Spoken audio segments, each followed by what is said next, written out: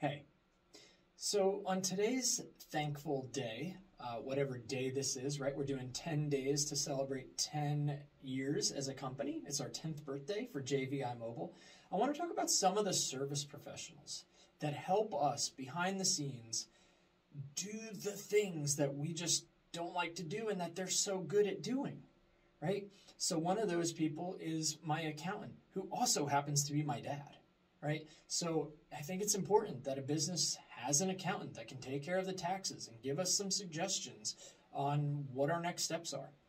Right after that, I would say our bookkeeper, we use uh, Lou Anne Gaffney. She is with Balanced Vintage here in Greensboro, and she just makes sure that our books look good, that they reconcile, that if we're spending money, that we're only spending money that we should be spending money or that we have the money to spend. And then she also lets us know we make a couple extra dollars at the end of the month, at the end of the quarter, right? So having a bookkeeper critical because I hate doing the books. Uh, some other service professionals I really want to give a shout out today because they, they mean a lot to me and they continue to help me uh, would be our two photographers. And that sounds kind of weird, right? We have two photographers for such a small company. Well, I travel to Wilmington, North Carolina a lot. And over the last couple of years, I've gotten to be friends with a tremendous photographer uh, named Haley who, if you ever get a chance, uh, I'm going to tag her in any of the posts that you see. But Haley does amazing work, uh, and she's done a bunch of our initial photo shoots around the beach and in the studio down when I visited Wilmington.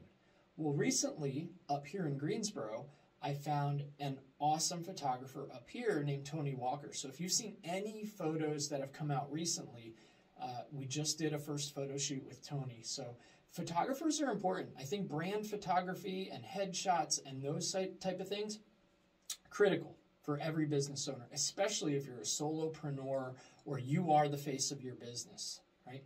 So the, the point is, um, first of all, is that I'm super thankful for these people to, to help us in our day to day. There's also a ton of software vendors and providers that, that help us get through the day. But if uh, but, but beyond a thank you, if you're running a small business, find those people. If you don't like doing the books, get a bookkeeper. Always make sure you have an accountant. And always try to make sure that you look good and you look on brand. Until the next video, have a great day. Thanks, and we'll see you tomorrow.